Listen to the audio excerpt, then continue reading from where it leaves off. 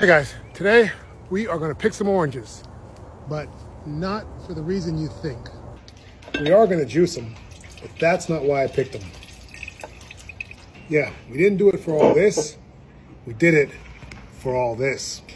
Now we're just cutting our orange peels into smaller pieces. So these orange peels are gonna do two things for my garden. One, they're gonna be a fertilizer. They're gonna release a lot of nitrogen. And two, they're gonna help keep pests like aphids off of my plants, all right? If you learned something there, hit the like button and follow, all right? See you guys, bye.